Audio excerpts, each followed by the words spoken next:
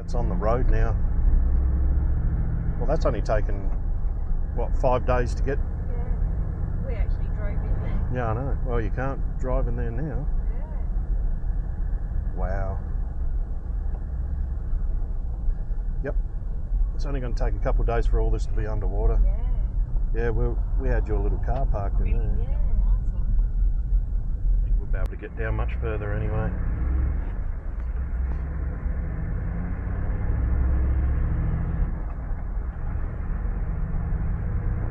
Yeah, it's only gonna it's gonna take no time to get up here. Oh look, it's all up around the sheds Oh, anyway.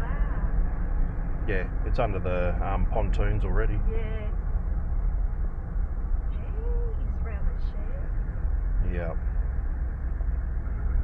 Yeah, the house is under now. I feel a little dog.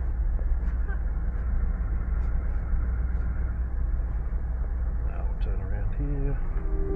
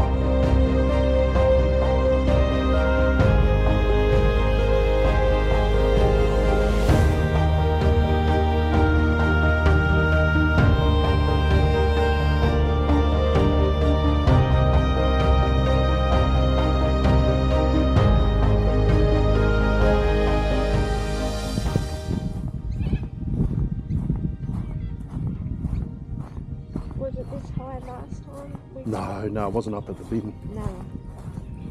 So it's actually come up Yeah. to the bin. Oh yeah. Yeah, it has. That's right. I'll be able to do a comparison of Yeah. what it was six days ago. Yeah, wow. Yeah, the paddle boat was going past. Yeah. No, it's not up at the bunyip yet.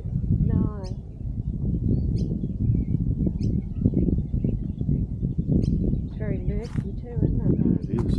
Dirty. Oh, it's dirty water coming Yeah. down, but. All right. Well, I actually thought it would be on the road. Not quite. Mm. Within the next two days, it'll be on the road, Yeah. surely. All right.